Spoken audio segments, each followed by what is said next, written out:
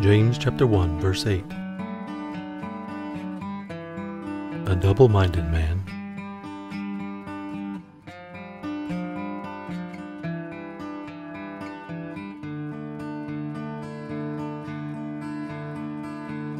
is unstable in all his ways.